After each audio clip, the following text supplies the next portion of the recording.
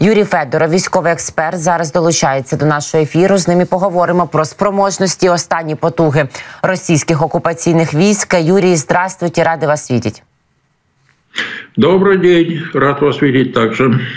Юрий, обсуждаем вот то, что в своих тщетных попытках взять Бахмут уже 9 месяцев и более они длятся, как будто бы Министерство обороны Российской Федерации даже пошло на такую себе примирительную с Пригожиным, или он с ними.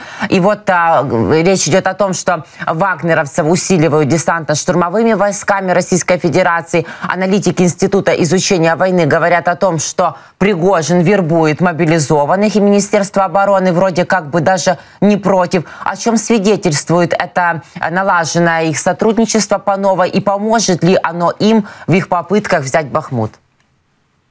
Нет, я думаю, не поможет. А свидетельствует о том, что, ну просто свидетельствует о том, что группа Вагнера понесла очень большие потери, причем не только э, так называемых мобилизованных заключенных, э, которых в большом количестве Вагнер э, Пригожин значит, сумел завербовать, но их в очень большом количестве их было ликвидировано за Бахмут вооруженными силами Украины. Э, теперь уже, пожалуй, недели две тому назад началось, начались очень серьезные потери в, так сказать, в профессиональном ядре э, этой группы, состоящем из нескольких тысяч, ну, видимо, там 6-7 тысяч было на конец прошлого года. Это профессиональные наемники, высококвалифицированные бойцы, но им э, пришлось участвовать в тяжелых очень боях, в которых они понесли серьезнейшие потери. И этим, с этим связаны э, два момента. Первое – участие э, воздушных десантников, регулярных войск Министерства обороны Российской Федерации в попытках взять Бахмут, в штурме Бахмута. И одновременно э, значит, разрешение э, Пригожину на, мобили... на вербовку дополнительного персонала. И, кстати говоря, э, это было, привело к тому, что Пригожин выпустил вот сенсационную совершенно статью, сенсационную для России, в которой поставил вопрос о том, что нужно, вообще говоря, кончать эту операцию. Точнее, я бы сказал так, он высказывался в том смысле, что нужно прекращать э, попытки наступления и перейти к обороне. Вот защищая, как он сказал, когтями вцепиться в те оккупированные территории, э, и после этого, значит, обеспечив надежную оборону, по его мнению, нужно переходить к каким-то переговорам с Украиной и к окончанию боевых действий. Это свидетельствует о Э, о том, что Пригожин человек, в общем, э, преступный, но э, далеко не дурак. Он понимает, что силы и средства Российской Федерации практически исчерпаны, сил для наступления нет, но вот делает ставку на оборону. Посмотрим, как будет оборачиваться дальше его судьба. А, Юрий, скажите, пожалуйста, а вот это заявление сенсационное Пригожина, это его личное мнение или это посыл с Кремля, только его устами? Нет, я думаю, что это точка зрения, которая э, распространена среди э, высшего руководства России, но э, она не присуща Владимиру Путину.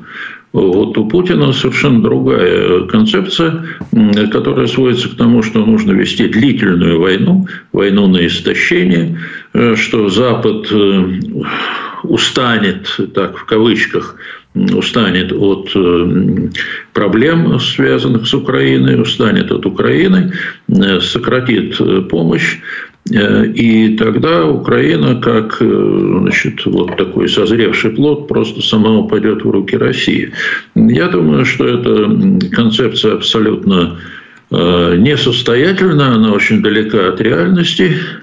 Но, тем не менее, вот Путин верит, верит в такие вот чудеса, как это присущи многим э, диктаторам, которые, э, которые, по сути дела, находятся уже на грани полного провала, они начинают верить в какую-то, вот, э, в какие-то чудеса, в то, что все вдруг э, перевернется, все негативные тренды и тенденции Э, значит, обернуться позитивными. В общем, что-то произойдет, произойдет некое чудо. Чуд, чудес в мировой политике не бывает, а в войнах ну, практически тоже не бывает.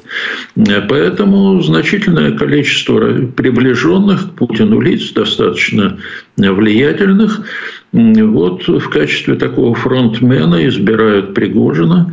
Ну, Пригожину, в общем, терять нечего.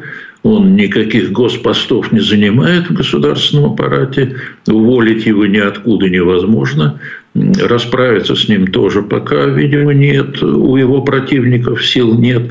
Вот он позволяет себе выступать с относительно смелыми для современной России высказываниями на тему о том, что вот, ну, о, о чем мы говорили, не буду повторять, но это, да, это свидетельствует о понимании, назревающем понимании в окружении Путина вот, э, некой реальности, э, которая, которая для России, в общем, крайне неблагоприятна в поисках э, каких-то путей для реализации этого чуда. А пытаются они там тасовать генералов туда-сюда. Юрий, вот стало известно, что Россия, вероятно, привлекла снова к боевым действиям в Украине, к войне генерал-полковника Михаила Теплинского, командующего воздушно-десантными войсками Российской Федерации. Напомню, что с театра боевых действий он был отстранен в январе 2023 года. Тогда ходили дискуссии о том, что он э, воздушно-десантные войска в качестве качестве пехоты больше применял и насколько это было целесообразно. Но в то же время отмечаю, что пользуется он уважением каким-то среди рядового состава. Что нам говорит фамилия Теплинского, для чего они это делают? И вот эта постоянная такая ротация кадровая, от, от чего она происходит? От безысходности? Но она происходит просто потому, что запасных, э, это вот скамейка запасных э, у Путина крайне мала, а практически, в общем, нет никого из, э, ну, из, за исключением тех людей, которых он уже тасует, как колоду, истрепанную колоду карт. Вот этих генералов он тасует, переводит с места на место, желая, надеясь, что вот появится некто, кто сможет изменить ситуацию на фронте. Но э, теперь о Теплинском. Ну, да, действительно, есть такие разговоры о том, что Теплинский становится ну, такой популярной фигурой среди офицеров, армейских офицеров, боевых, тех, кто участвует в боевых действиях. Э, ну, вот тут э, это действительно так. В ходе любой войны Э, выдвигаются, выдвигаются офицеры, там, старшие офицеры, генералы, часто молодые, которые ну, в силу своих э, действий на более или менее успешных действий на фронте, они э, представляют собой такую, ну, не то чтобы оппозицию, но какой-то второй эшелон командного состава, который бросает вызов Э, ну, тем, кто находится наверху, в данном случае наверху находится Герасимов с Шойгу и э, их клиентела, но эти люди, в общем, зарекомендовали себя крайне Э, неудачными полководцами, в общем, проваливая операцию за операцией. И тут э, появляются люди, которые, ну, такие относительно молодые генералы, вроде Теплинского. Он 69-го, или 70-го года рождения. В общем, э, такой, ну, это более молодое поколение, чем Герасимов и Шойгу. Так вот, э, да, э, с ним э, произошла история вот какая. В январе месяце он сцепился с Герасимовым по поводу того, что десантников использовали в качестве пехоты. Это вообще, конечно, с военной точки зрения это неграмотное решение, но это решение было принято от безысходности, причем принято еще было и в начале войны, когда десантники не выполняли те функции, те задачи, которые перед ними были поставлены. Ну, единственная попытка такого профессионального использования их это был, была попытка захватить аэродром в Гастомеле, да? Да-да. Вот. Э, ну а после этого оказалось, да, оказалось, что эта попытка несостоятельна, и их начали использовать просто как пехоту. Ну, достаточно подготовленную пехоту, но совершенно не по их функциональным задачам. Это вызвало недовольство, вызывало и вызывает недовольство в, э, и среди воздушно-десантных войск, и среди их командующих, э, в том числе Теплинского. Он был назначен летом прошлого года командующим ВДВ. Он сцепился с Герасимовым по этому поводу. Но Герасимов его значит, осадил – Дальше произошло непонятно. Э, Теплинский написал какой-то рапорт, то ли в отставку, то ли в отпуск. Трудно сказать. Во всяком случае, он был отстранен э, от участия в боевых действиях.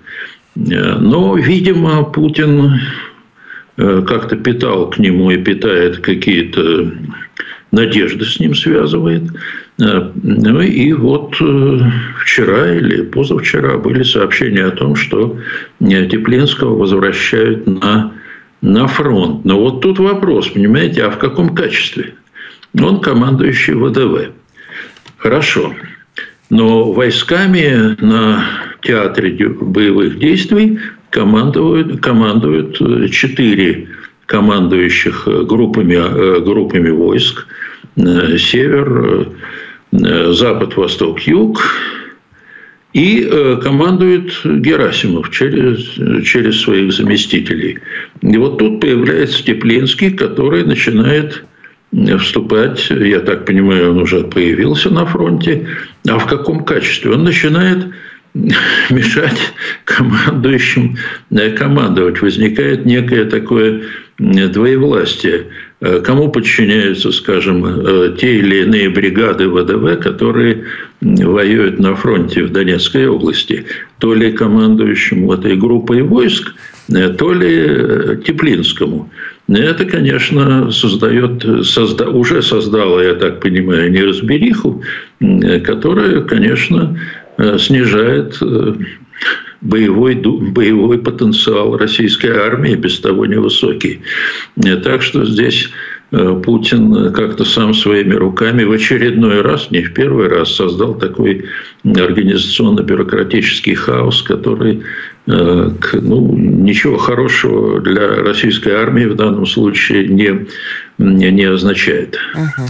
А, Юрий, скажите, пожалуйста, вот Вашингтон пост, ссылаясь на секретные документы Соединенных Штатов Америки, говорит, что а, спецназ ГРУ России уже потерял около 90-95% своих бойцов в Украине, и что, чтобы их восстановить, нужно не менее 10 лет. Насколько это сильный удар, и есть ли чем заменить этих бойцов Российской Федерации?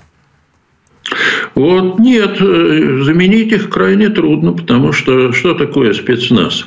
Это значит, в России есть семь бригад спецназа, они подчиняются главному управлению, ну, то есть военной разведки. В прошлом э, называлось ГРУ, теперь просто главное управление. Эти, это профессиональные диверсанты на самом деле. Их готовят для того, чтобы они выполняли задачи далеко, ну недалеко, ну на, за линией фронта. Э, там срывали, э, взрывали там разного рода военные объекты, захватывали в плен командиров противника, уничтожали командные центры, пусковые установки ракет. Вот, вот это его, их задача. И подготовка Э, подготовка полноценного э, ну, солдата или военнослужащего спецназа э, требует от 4 до 5 лет. Значит, если э, вот, э, потеряли 90% боеспособности, что это значит? Ну, это значит, что ну, подразделение, часть или соединение теряет боеспособность тогда, когда это общее такое, общий норматив.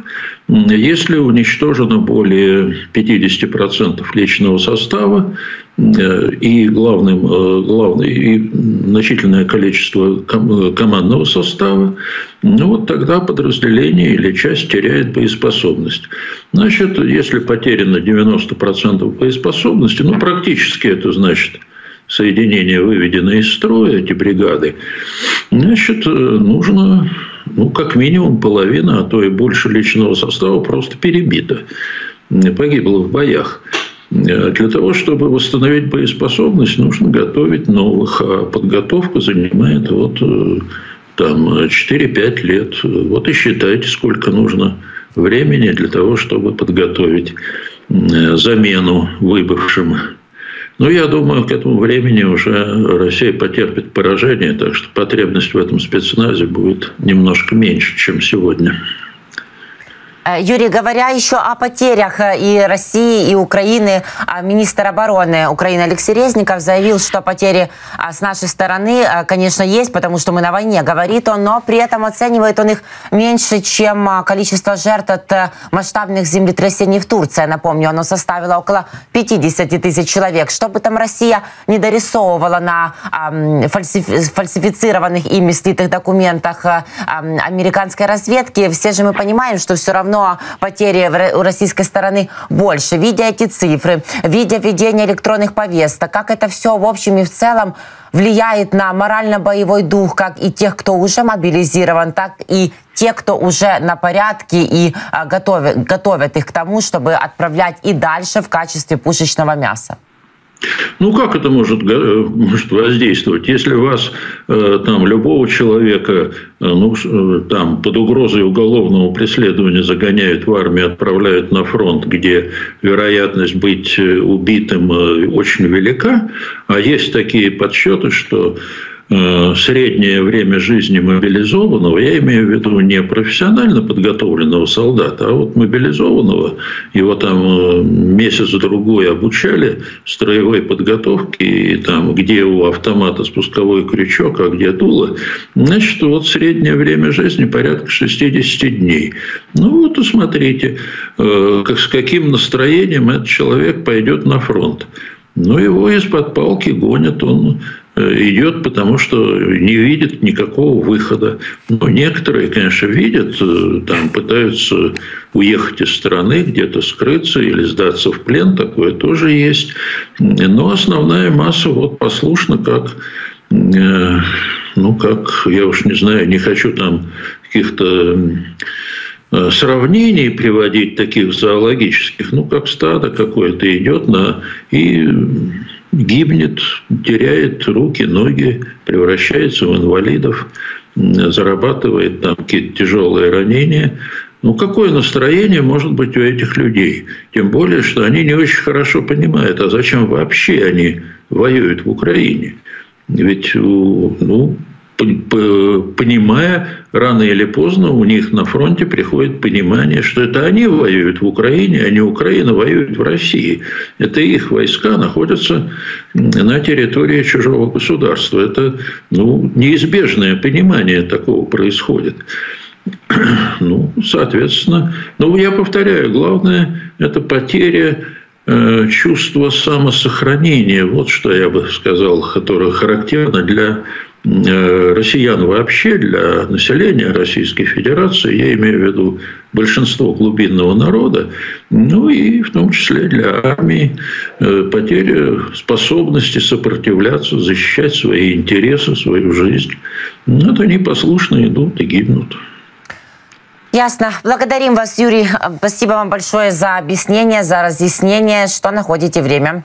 Всегда рады вас видеть. Юрій Федоров, військовий експерт. Давайте поговоримо з Ігорем Яковенком, це російський опозиційний журналіст. Ігор, здравствуйте. Здравствуйте. Игорь, вот стало известно, где именно был Путин. Это населенный пункт Счастливцево. Это 130 километров от линии фронта. Очень уж далеко на фоне того, что Зеленский приехал в Авдеевку. Авдеевка это 4 километра от линии э, фронта. Как вы считаете, почему Путин полетел на фронт именно сейчас. Одни говорят, что он косплеит Зеленского, и он хочет показать, что он тоже военно командующий главный. Другие говорят, что это уже начало предвыборной кампании, потому что с ним не полетел ни Шойгу, ни Герасимов, э, непосредственно те, кто причастны к этой войне. Почему не полетели? И э, то, что он хотел себя показать как-то, что он один и он все контролирует. Ну, э, насчет предвыборной кампании, я думаю, что это некоторое преувеличение, потому что я не понимаю, какая может быть предвыборная кампания в России. Путину нарисуют столько, сколько надо, в любом случае, даже если за него не проголосует ни один человек. Поэтому, ну, что ему беспокоиться? Зачем нужно вообще отрываться от своего бункера, от своего кабинета, это лишено всякого смысла. Так что, ну, скорее всего, речь идет о какой-то попытке э, там, вдохновить э, военнослужащих, э, которые сейчас находятся на фронте. Там, ну, пиар-акция э, для того, чтобы как-то э, продемонстрировать населению, что он все контролирует, что он есть, что есть главнокомандующий и так далее. То есть это сугубо такая вот э, военная история. Вот. Э, к предвыборной кампании, я думаю, что это не имеет никакого отношения, тем более, что ну, все-таки она, выборы будут в 2024 году, сейчас у нас все-таки до этого далеко. И, ну и еще раз подчеркиваю, вообще, так сказать, беспокоиться о результатах выборов э, в России Путину явно нет смысла никакого. А, а если говорить о том, что вот именно он э, объяснил, потому что, почему Шойгу и Герасимов не прилетели с ним. Он сказал следующее, что это было очень опасно. Вернее, это Песков сказал. А как это понимать, Игорь, что опасно, если Путин летит сам на фронт или там, где э, ведутся боевые действия, хотя и 130 километров, а вот брать с собой Шойгу и Герасима, это уже опасно? Ну, вы знаете, это классический случай, как э, сам Путин говорил, э, говорит о речеиспускании Пескова, что Песков всегда несет какую-то пургу. Но вот это действительно такая глупость, которую я, например, объяснить не берусь, потому что ну, э, говорить о том, что там, президент значит, летит, это не опасно, а Шойгу это опасно. Ну, это, это за пределами за пределами рационального объяснения. Это полнейшая глупость. Ну, лишнее желание, лишнее желание показать, какой его шеф бесстрашный, что он там ну, достаточно далеко от линии фронта чего-то там изображает. А, значит, а э, для министра обороны и э, значит, командующего войсками Герасимов в данном случае, он не только руководитель штаба, но и руководитель всей вот этой вот войной, что это опасно. Ну, в общем, это, это за пределами здравого смысла. Это просто, ну, просто очевидная глупость, которую невозможно комментировать. Если вспоминать, э, о том, что в Белгородской и других э, регионах России, которые есть на границе с Украиной, даже оккупированном э, Крыму, отменили 9 мая. Игорь, вам не кажется, что это именно показатель того, что в Кремле что-то реально не так, какая-то трещина, потому что это же сакральное число, сакральная дата. Это праздник, который наиболее любит Путин, которому он всегда э, всем рассказывает, э, как деды воевали и как э, Россия побеждала в одиночку нацистскую Германию. Вы знаете, я думаю, что надо э, дождаться действительно серьезный процесс идет насчет Кремля. Тут э, отдельная история, но э, то, что э, они вообще в панике перед э, вот этим вот грядущим украинским наступлением, Э, это, это пробивает. И телевизор российский, там видно, как, как паникует и как очень серьезно боятся этого наступления, серьезно относятся к этому наступлению грядущему э, обитателя российского телевизора. Но тут вопрос, конечно, что будет 9 мая в Москве. Э, я думаю, что ну, вероятность того, что отменят парад в Москве, на мой взгляд, очень невелика, именно потому что вы сказ... потому что вы сейчас сказали, что действительно это сакральная дата, на которой держалась вся вообще э, российская путинская пропаганда, весь, весь путинская, вся путинская мифология, это было победобесие, это ядро путинской мифологии. И я не думаю, что парад отменят, но посмотрим. Тут есть вероятность, что отменят, и очень серьезная вероятность, что э, отменят значит, вот это вот шествие с балками, на которых изображены погибшие, погибшие люди вот этот весь бессмертный полк. Вот это, вот это вот возможно вполне, потому что, ну, кроме всего прочего, возможно еще и массовое участие людей, которые будут нести не э, э, не портреты погибших э, значит, во Вторую мировую войну, а погибших людей вот сейчас, в настоящий момент. Вот это вот серьезная история. И это будет ну, что-то вроде акции протеста, который будет довольно сложно разгонять. Ну как разгонять бессмертный полк? Вот, поэтому я думаю, что вот э, акцию «Бессмертный полк» вполне могут отменить. И это уже действительно серьезное. Это будет серьезное, так сказать, такое, ну, я бы сказал, реакция режима на э, вот, угрозу, угрозу уже э, в самом, э, в самом народе. Ну, посмотрим. Еще раз говорю, вот 9 ну, слушайте, мы же не знаем вообще, что будет происходить 9 мая на фронте. Ну, да.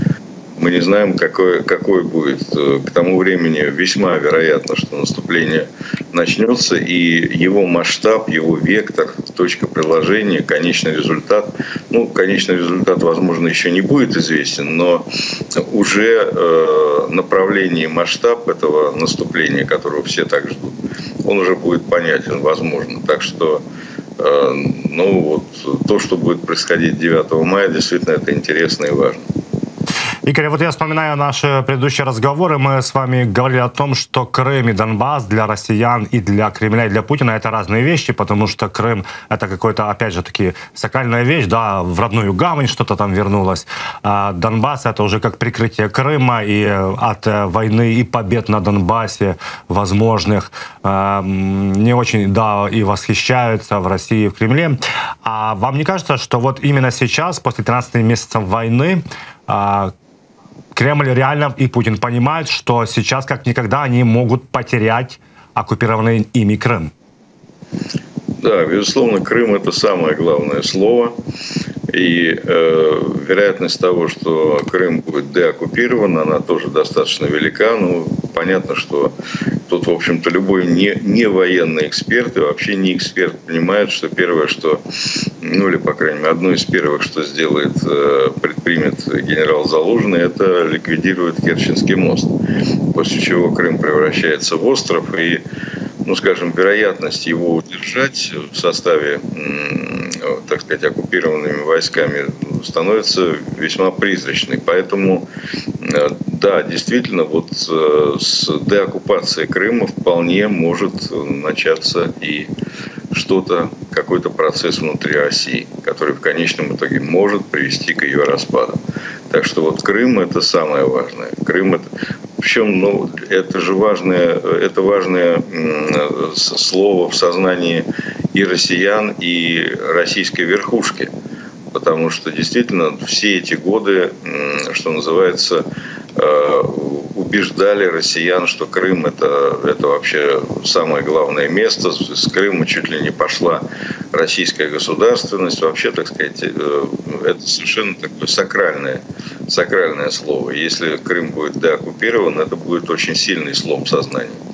Так что я думаю, что что-то может произойти. В отличие от Донбасса.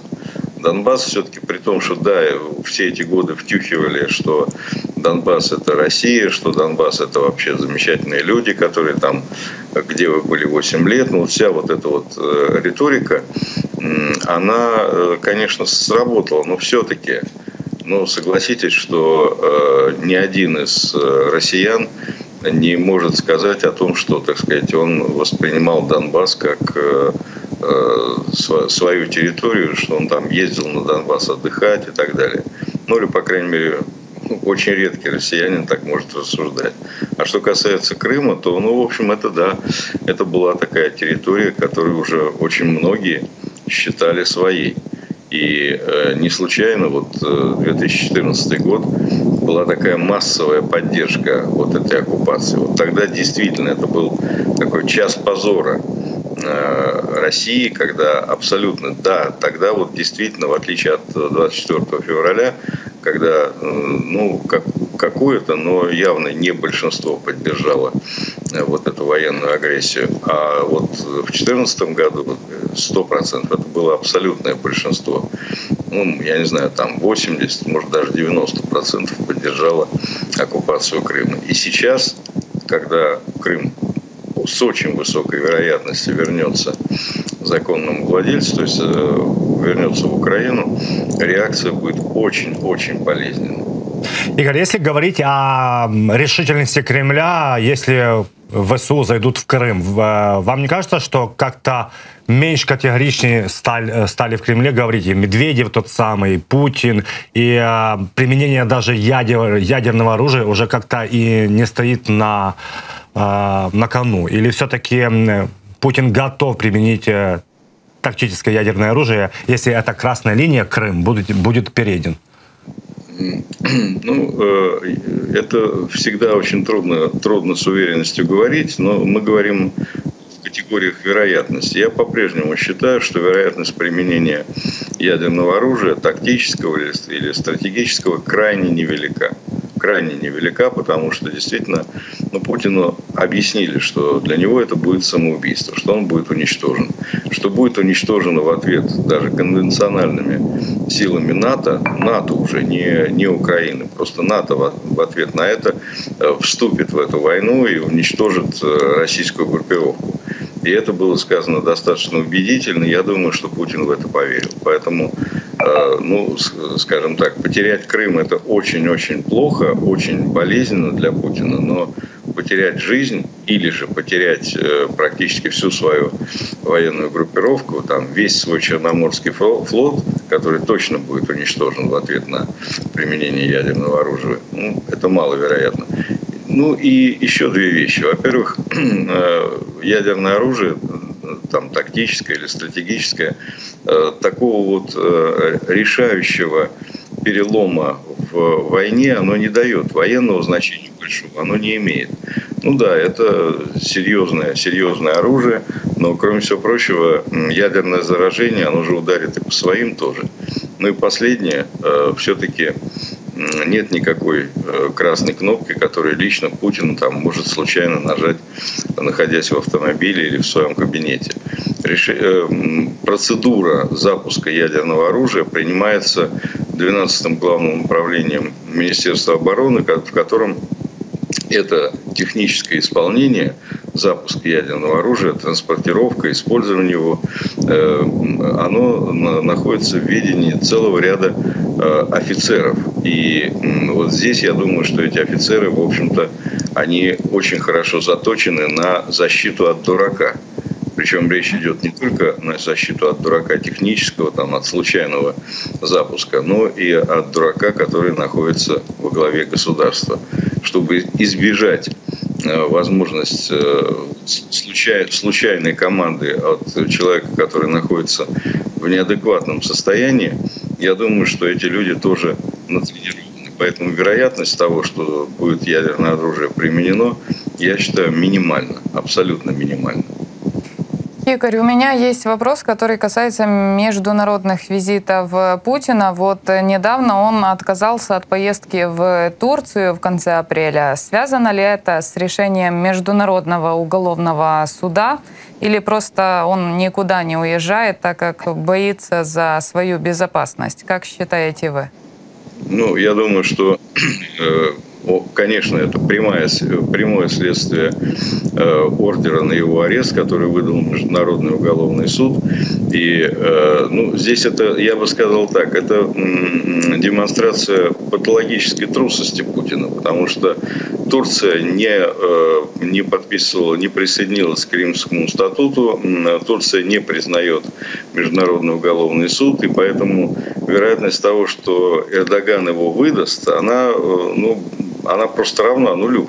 Но Путин настолько трус, настолько он э, боится всего, что он даже вот здесь, э, что называется, дует на воду. То есть он здесь э, перестраховывается и боится. Безусловно, это связано именно с э, боязнью того, что его выдадут в Гаагу. Значит, вот идея, что он просто боится куда-то выезжать, а ну, раньше не боялся, теперь боится. То есть, как, как бы ясно, что это все связано именно с решением Международного уголовного суда. Ну вот, э, ну в данном случае это такая перестраховка. Это, ну это вот напоминает немножко вот эти вот э, многометровые столы, которые, которыми Путин от, отделял себя от всех собеседников. То есть вот такая перестраховка в отношении заражения, а сейчас невероятная совершенно паническая перестраховка в отношении возможной выдачи. Уж э, а откуда, откуда, из Турции его точно бы не выдали. Но боится, когда страшно.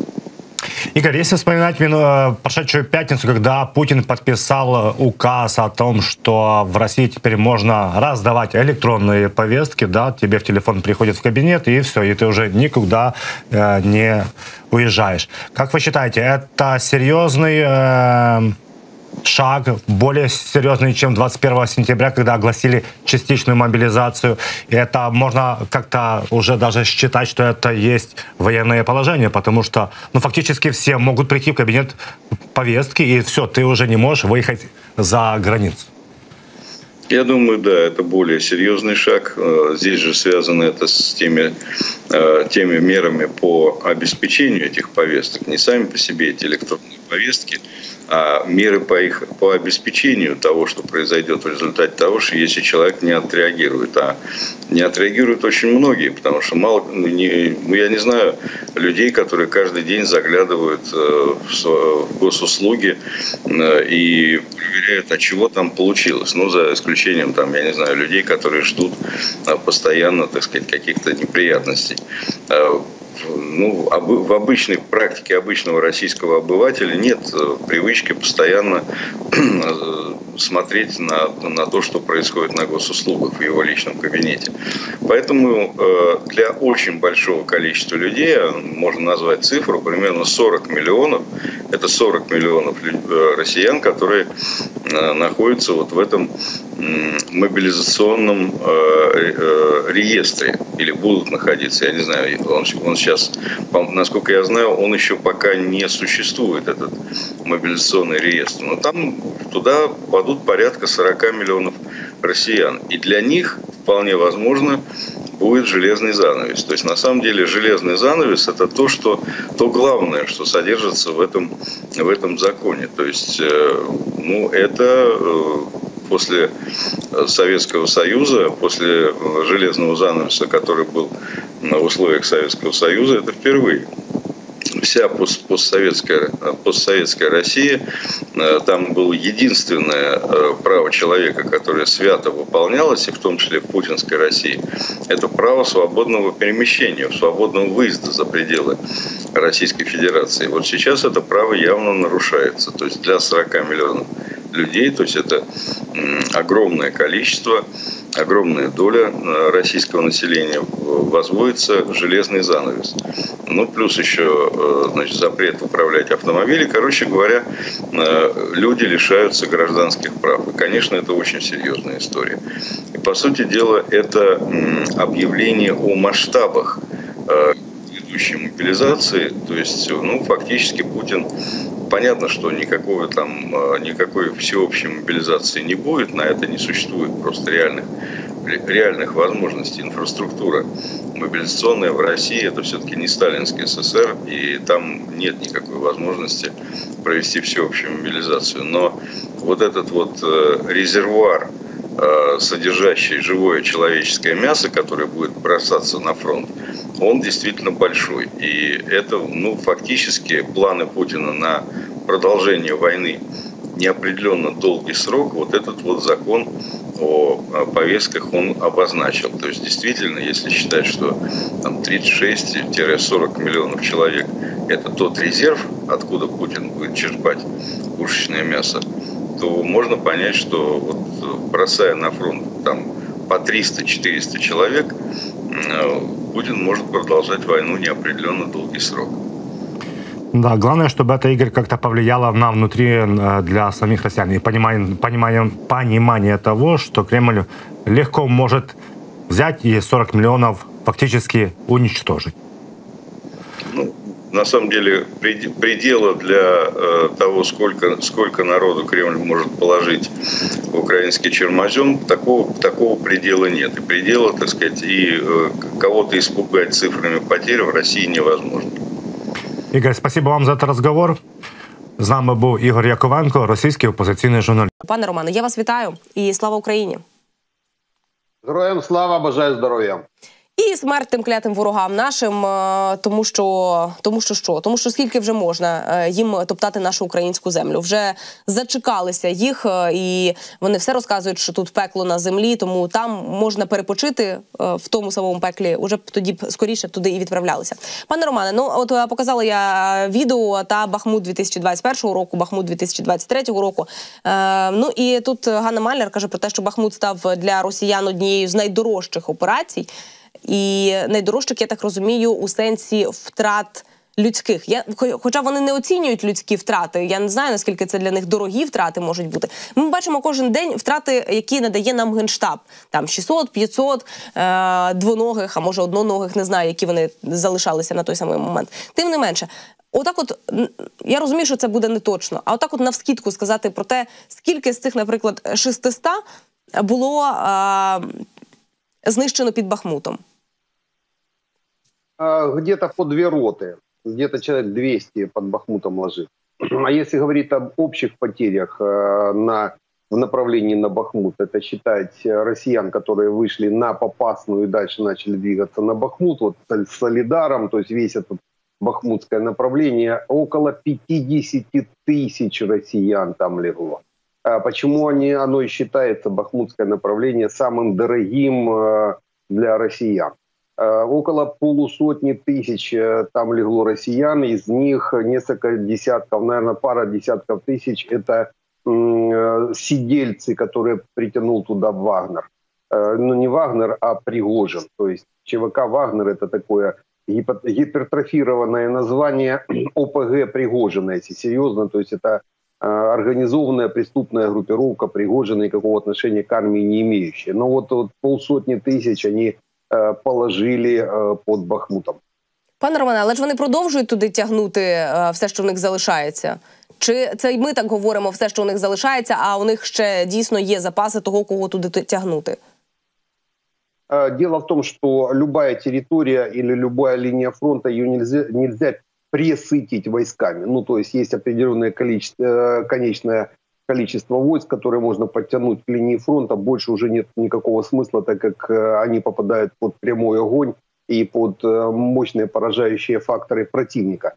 Э, в этом, в этом случае нас. Потому под Бахмут стянуто определенное количество войск, максимально возможное для выполнения боевых задач в, этой, в, этой, в этом, на этом плацдарме а российские войска рассредоточены по всей линии фронта от э, Херсона до Купенска. Это больше тысячи километров фронта на глубину около 100 километров. И если считать, допустим, от Керчи э, с Крыма до Валуек, уже российских Валуек, пока еще российских, э, можно сказать, около 400 тысяч э, россиян сейчас рассредоточено вдоль всей линии фронта на глубину около 100 километров.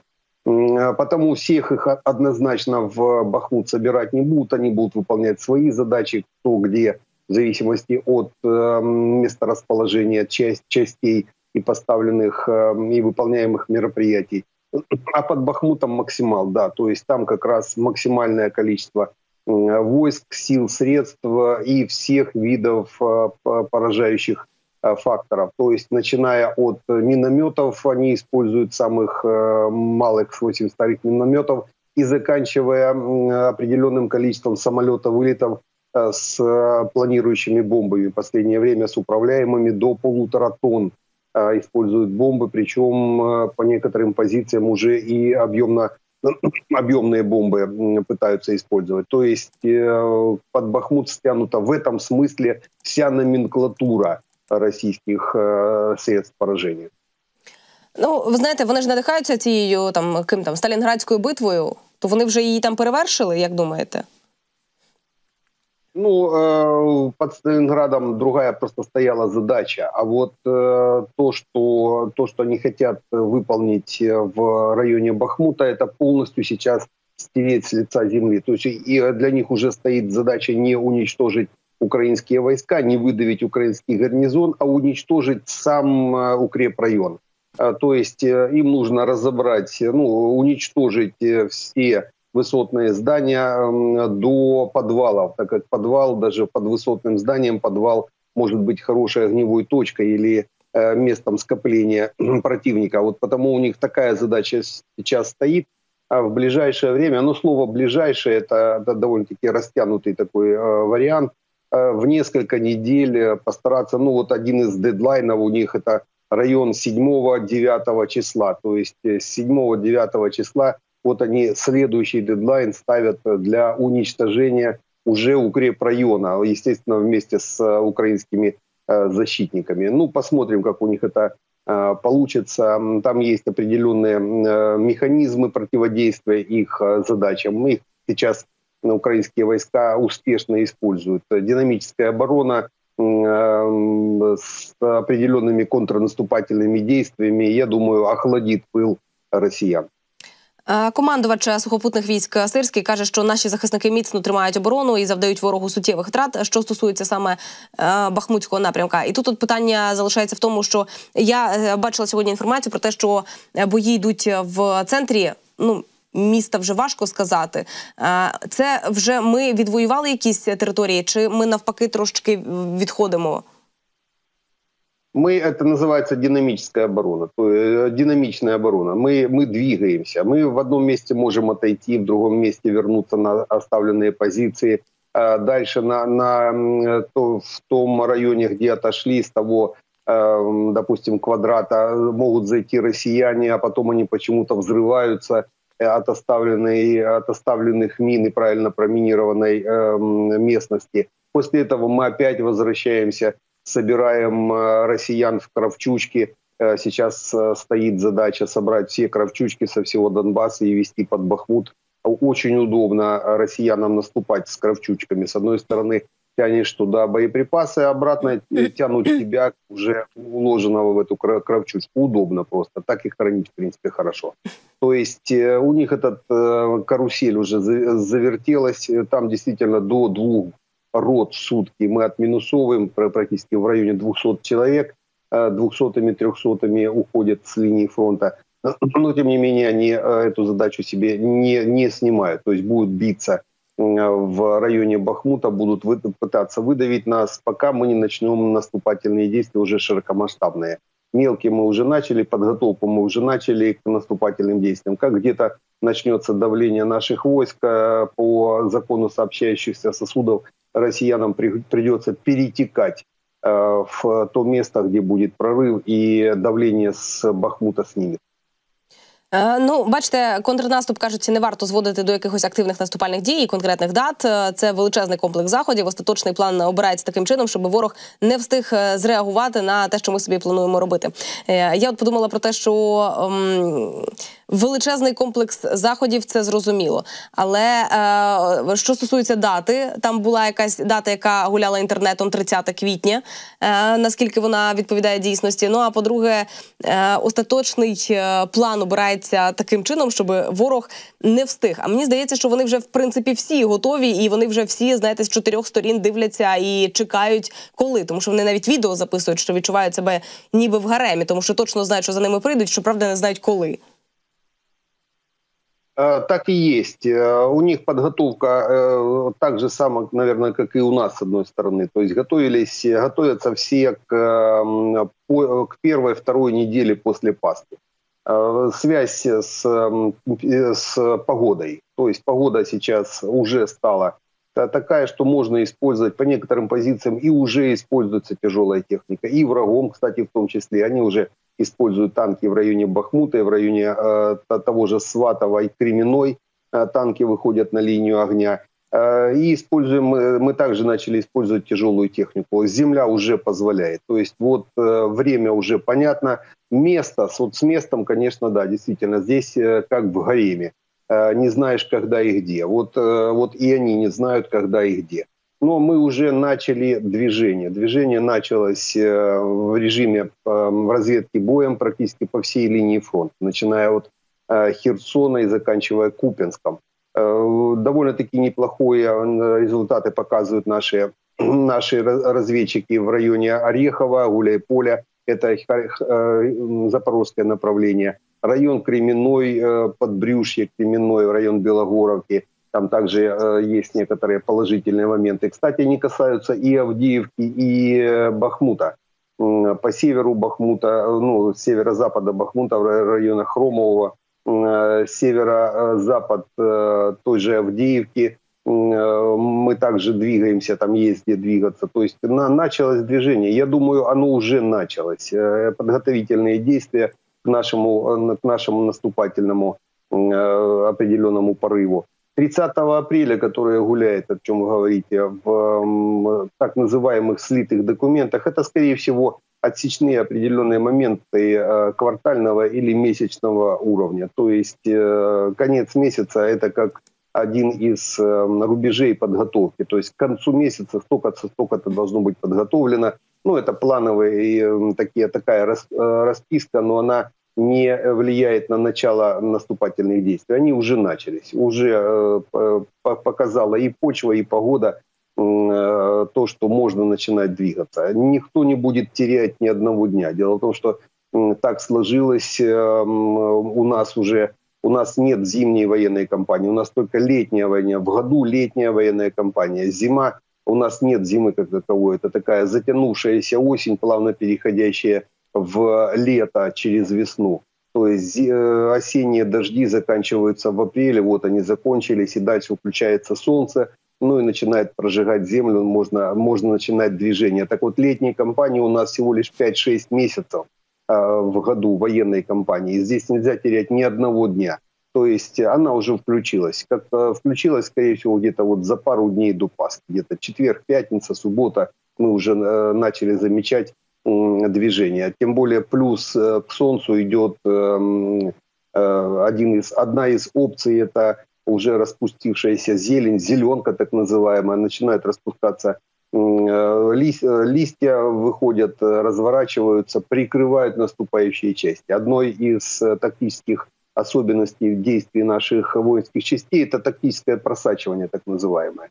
Это силы спецоперации, это военная разведка просачивается в тыл врага, на определенную территорию, на определенную глубину 3-5 километров. Ну а дальше начинаются определенные действия, которые приводят к тому, что врагу приходится отступать. Или э, выполняем э, задачу в врага по, по корректировке э, работы артиллерии, которая приводит к уменьшению плотности войск российских. Ну и дальше опять начнем двигаться. Я думаю, первые результаты нашего движения будут где-то ближе Э, числу к э, пятому-шестому на это время надо нам маленький подарок преподнести. Все-таки английской короне будет коронование короля. И э, где-то к, к этим датам, я думаю, уже будут какие-то результаты нашего движения. Мы их услышим.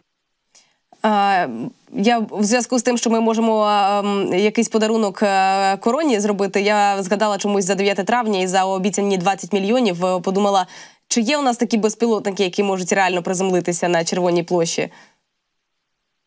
Ну, от 6 по 9 там будет три дня. Я думаю, за эти три дня проспимся вот э, празднования коронования э, В Великобритании и за три дня что-то учудим и на Красной площади. Я думаю, хватит у нас э, механизмов для выполнения такой задачи. Но только цель будет не Красная площадь, цель будет военные объекты, если они выйдут на Красную площадь. То есть это военные, это машины, то есть это техника, военная техника, ну, которая, во-первых, две недели будет еще до Красной площади в районе там Ходынки, Э, собираться, двигаться, тренироваться э, к проходу. Ну и потом где-то надо будет ее перехватить, так как это военная техника, это легитимная военная цель. Э, и все равно, где она находится, ее надо уничтожить, вплоть до того, что она и на Красной площади в том числе. Пане Романе, ну вже майже два тижні. Я щось не бачу їхні підготовки. Вони ж ніби сказали, що парад відмінили. Чи таки наважиться? Э, нет, скорее всего, э, ну, они, э, они 1 мая отменили. В части парадов отменили по другим городам. А в 9 мая, по-моему, еще не было отмены парада. Или может, что-то пропустил радость такую. надо что-то россиянам показывать, хоть что-то, хоть как-то. 1 мая, понятно, отменили, потому что выходить на, на демонстрации с лозунгом «Мир, труд, май» это ж можно сразу кутузку попасть. А там, по-моему, сейчас 10-15 лет, и весь этот, весь этот строй тут же в РОВД ну и э, с наручниками э, пойдут за мир, по крайней мере, за призывы к миру. А вот э, на 9 мая, я думаю, они попытаются, ну, если еще не отменили, то могут, могут еще и отменить, а могут и попытаться провести хоть какие-то э, какие-то парады. Хотя очень сложно как-то спрогнозировать. Все-таки у них сейчас очень большая проблема с, со своим местоположением в этой ситуации, в которую они сами себя загнали. Ну, бачу, е, безсмертний полк е, буде, але шествія, шествія не буде. А буде якийсь там один із альтернативних варіантів для себе можна обрати для автомобілістів, там ще для когось. Ну, в общем, е, вони там певні нюанси внесли в це все. Я от подумала про те, що ми е, говоримо контрнаступ, але з огляду на те, що вони закріпилися там в нас десь на територіях східних і південних, можна сказати, літньо-оздоровчий сезон для окупантів. Він якби от вже найближчим часом ми їм його прогнозуємо. Е, але я от подумала, як ви кажете про те, що вже пішли, десь якісь такі контрнаступальні дії е, зараз вже можна помітити. То а як в такому всьому не надто спокійному часі Путін наважився проїхати на українській території? Ну, он считает их своими, потому э, попытался двойника, вряд ли это был Путин. Э, все-таки не верю, чтобы первого Путина э, отправили на оккупированную территорию. С, охрана не допустила, ну и контакты, которые он проводил, это, это существо, которое проводило на э, оккупированной территории с людьми, э, говорят о том, что люди не были подготовлены, их там не держали по двум, по неделе, по две на карантине, то есть очень сложно сказать, что это был именно Путин один. Это либо двойник был Путина, либо тройник Путина, либо тройник двойника, то есть в зависимости от возможностей.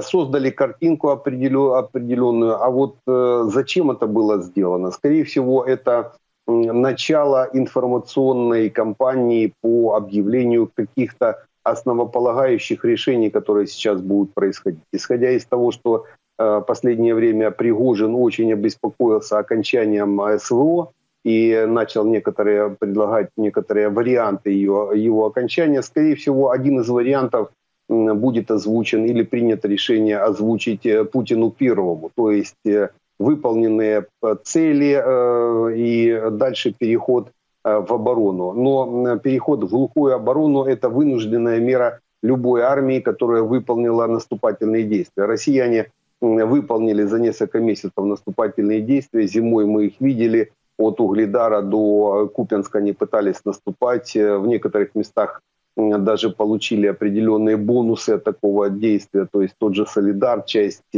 Бахмута Авдеевка, район Маринки. То есть они где-то продвинулись. Э, вот это все, все, на что они были способны. А дальше у них период, период накопления, накопления резервов и восстановления сил средств происходит э, в глухой обороне, если это невозможно остановить дипломатическими какими-то э, путями, то есть боевые действия. Значит, глухую оборону, для того, чтобы перейти от наступления в глухую оборону, надо как-то обозначиться.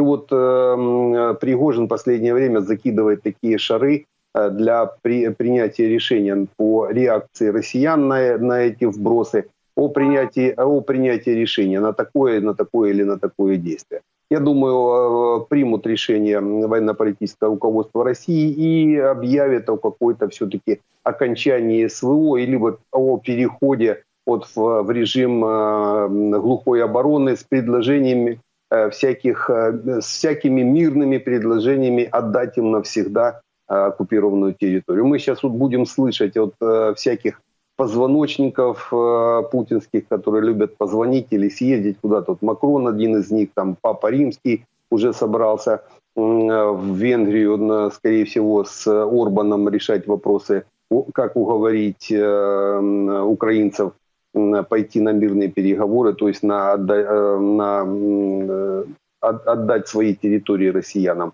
А сейчас мы это все увидим. Пане Романе, е, зазвичай ще перед святами або під час свят ми вже говоримо про те, е, чи будуть обстріли. Знаєте, ну ми говоримо про це кожного разу, але тим не менше, там Великдень будуть масовані обстріли ракетні, а 1 травня будуть масовані ракетні обстріли, а 9 травня будуть масовані ракетні обстріли. Ну тут кажуть в повітряних силах, що е, ось це затища з масованими атаками Росії зараз пов'язано з тим, що вони перейшли на більш бюджетний варіант. Що це за більш бюджетний варіант? Мы видим шахеды, мы видим шахеды и мы видим э, планирующие бомбы. То есть они перешли на э, бомбардировку э, наших в основном линии фронта и по некоторым позициям границы планирующими бомбами. Он действительно бюджетный вариант, так как свободно падающая бомба, есть очень много, там десятки тысяч бомб еще Советского Союза, и у нас, кстати, тысячи бомб тоже есть. ФАП-250, ФАП-500. Это 250-килограммовые, 500-килограммовые э, фугасные авиационные бомбы, э, которые используются в качестве планирующих после того, как одеваются на них определенные обвесы, крылышки так называемые. То есть бомба в э, чистом исполнении – это свободно падающая, она падает под самолет, когда он ее сбрасывает, там есть определенная траектория, и она почти вертикально падает на, э, в точку удара. А вот э, после того, как эту бомбу одевают в крылышки, она еще планирует, планирует в зависимости от высоты сброса и скорости сброса несколько десятков километров. Нам такие же обвесы передали наши партнеры, это называется джедамы, с дальностью до 70 километров. Вот у россиян примерно такие же есть с дальностью пока 40 километров. 70 пока еще не видно было, но с дальностью до 40 километров у них такие тоже обвесы есть, собранные на колени, э, с, скорее всего, с китайских запчастей, но тем не менее они выполняют задачу именно планирования. В точности там практически нет никакой, но она сильно и не нужна, когда обстреливается, допустим, вернее, бомбится э, такими бомбами, планирующими, допустим, город. То есть общее направление понятно, она летит куда-то туда, и дальше приходит и уже в зависимости от удара, а 500 килограммовая полутонная бомба, это довольно-таки э, мощное средство поражения. Вот этими эм, э, бюджетным вариантом, так называемым, э, россияне пытаются заменить ракетные удары дорогостоящих ракет. И эти ракеты, они вышли на нулевые остатки, скорее всего, складские остатки последней партии ракет 9 марта. Вот э, сейчас они накопили где-то около 50 ракет, они могут производить в месяц не больше 50 ракет. И, скорее всего, э, дальше они запустят механизм именно восстановления складских запасов, восстановления неприкоснов... Э, неприкосновенного запаса, который они практически до нуля выбрали. То це може гарантувати те, що там в містах, які знаходяться подаль від лінії фронту, вони зможуть більш-менш видихнути? Чи це нічого абсолютно не гарантує нам? Ну, э, гарантировать что-то при э, руководстве России Путиным нет э, никакой возможности. С военной точки зрения ни один военный пока не наберет неприкосновенный запас, пока не восстановит складские запасы, никогда в жизни не будет ставить себе задачу использовать а, так, такого рода боеприпасы. Ну а политику, а тем более Путину, это ж с какой ноги встанет? Э, может стать, а у него тем более в таком возрасте уже может склероз, может быть вообще забыть, что уже было несколько десятков э, атак, э, встать как первый раз и дать команду на атаку, ему ж никто не будет перечить. То есть соберут под сотню, ну полсотни ракет как минимум сейчас могут собрать крылатых, добавят туда еще пару десятков, два-три десятка другого типа и могут шарахнуть Э, по Украине э, в любой момент буквально. То есть э, там же как, как накроет Путіна, ніхто це спрогнозувати не може. Бачите, пане Романе, ви кажете про тих, хто приміряє весь час до себе ось цю маску миротворця і намагається посадити за один стіл перемовин або ж вмовити Україну піти на поступки Росії. То я в цей момент дивлюся, знаєте, за Німеччиною, дивлюся за Шольцем, який свого часу теж був на стороні Макрона, і вони нібито приїжджали до нас з мирним планом свого часу. Ну а тепер дивлюся, що Німеччина і Петріоти передала прибули системи Петріот е, і від трьох країн від США, Нідерландів і Німеччини. Ще Україна від Німеччини отримала другий з чотирьох ЗРК Айрісті. І дивлюся, що сьогодні Шольц ще і е, розкритикував вето Швейцарії на постачання боєприпасів для України. Тобто, все перейшов на сторону добра. А еще больше скажу, именно Шольц его позиция выдавила из американцев для нас Абрамсы. То есть, и это очень э, многого стоит. То есть, э, Шольц, скорее всего, прошел определенный политический путь от э, человека, который э, просто заменил Меркель на посту, до политика уже европейского и мирового уровня. Потому мы от Шольца уже можем ждать э, реальных действий, и он прекрасно понимает, он уже отвечает, он, он понимает, что сам лично отвечает за безопасность уже не только э, Германии, а и всей Европы, включая Украину в том числе. И это такой положительный знак. І е, кажуть про те, що росіянці кілька місяців експериментували із системами РЕП, Тобол чи Тобол. Е, це вже не знаю, намагаючись заглушити старлінки в Україні. Я так розумію, в них е, не надто вийшло, але тим не менше, це що за експерименти такі? Чи відомо нам про них? А, Так и есть. Э, Они приняли решение, ну, вернее, не приняли, у них э, последние полгода это минимум, а так вообще-то, с, э, наверное, уже из год, можно сказать, эм, стоит задача развернуть мощную систему радиоэлектронной борьбы, причем по некоторым э, позициям, по перехвату, э, по полному э, отсечению связи, причем связи э, через Starlink у них задача отсечь нашу связь, положить нашу связь внутри подразделений и внутри соединений. То есть и это направление. Помимо того, что они решают вопросы по БПЛА, то есть пытаются погасить, потушить и посадить наши БПЛА, уничтожить э, пункты управления. Но и вот уже подходят и к этому. Э, Им, скорее всего, помогают. Я думаю, есть там помощники с такого туда, с юго-востока, с дальнего, э, рядом с Си Цзиньпинем постоявшие. А вот они могут э, помогать и выполнять и такого рода задачи, так как большинство, половина, если, если не большая половина элементной базы именно китайская. И а раз так, значит, и эм, э, э, уже софт китайский в том числе. Э, Потому я думаю, вот, э, вот здесь э, Китай с Россией уже нащупывает механизмы, причем Китаю это тоже очень важно, так как рэп рэп работает в основном по эм, американским, натовским средствам связи. То есть для Китая это важно. Они отрабатывают некоторые механизмы противодействия американцам, американским и натовским средствам поражения. Але якщо вони думають, що вони роблять це дуже тихо, і ми їх не бачимо, то ми їх бачимо і відповідно можемо на це реагувати. Пане Романе, я дякую вам е, наразі за ваші коментарі. І до наступних зустрічей в ефірі. Е, Роман Світан, військовий експерт, льотчик інструктор і полковник запасу української армії, був е, з нами на зв'язку цієї години.